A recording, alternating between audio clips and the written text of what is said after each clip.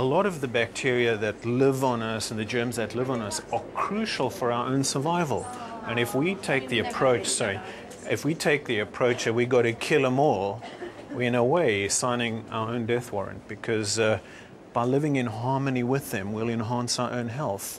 And it's getting the balance right. It's you know figuring out which infections are actually helping our immune system develop and um, are kind of benefiting us, and which you don't want to take a chance with, and you need to treat quickly and effectively. And it's that sort of sense of balance that um, people, I think, have lost sight of. What percentage of antibiotics is it generally understood are prescribed unnecessarily? Well, they say about 80% of all antibiotics are prescribed in the community by GPs, and at least 50% of those are probably unnecessary. In other words, that 50% of all antibiotics that you get in, in the community are probably not going to help you get it better any quicker. And the, and, and the bad thing is they might do you some harm. There are a lot of side effects from antibiotics, and then, of course, there's the cost and the problem of antibiotic resistance.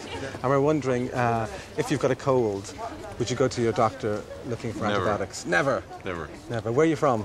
Uh, right just outside of Chicago, Illinois. Okay. What happens if you get a cold? You know, does your doctor offer them to you, or did you ever have you? Would you? You're more educated on antibiotics than a lot of people. Is that right?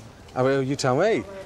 No, I have no education in antibiotics. I'm an emergency medicine physician. Ah. so tell me, tell me this. Well, why? Listen, why are we going around and we're talking to pharmacists in this country and all across Europe, right? And they're they're prescribing antibiotics. If I go into a pharmacist, I've got a cold, give me some antibiotics. Give me antibiotics. Right. I've got you, no med training. And because you want it.